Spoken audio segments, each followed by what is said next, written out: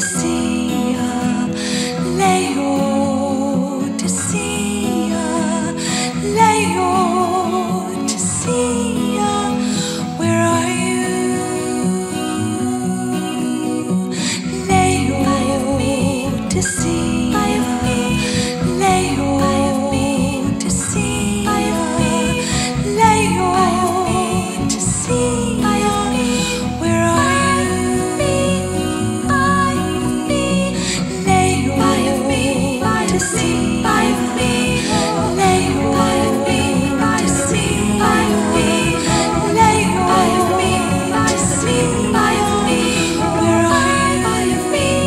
To the angel of the church in Laodicea.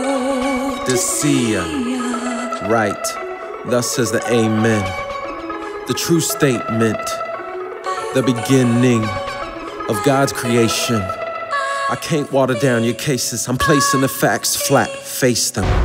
I'm well acquainted with your works, neither cold nor hot. It makes me sick. I'll vomit you out my mouth. Lukewarm, complacent. I wish you were cold or hot. But you say I'm rich and become wealthy, and I have no want. But you do not know who deceived you. You're miserable, wretched too, poor, naked, blind, the basest kind. Don't waste your time. Purchase my gold, fire refined, in bright white, righteous clothes to cover your jaded, shameful, frightening soul. Also anoint your eyes to see, yeah, and to free you from your pride till you see your need. As many as I love, I rebuke. Hope to wake you up with uncut truth. Turn around, be made completely new. Zealous warming up till my love shines through. I'm crying for you, standing at the door, wanna dine with you. Knock, knock, hello, I'm at the door. Outside your church, do you hear my call? To the overcomer, I'll show the honor to sit with me on my throne. Same way I did with my father. If you're hot or cold, you hear my offer.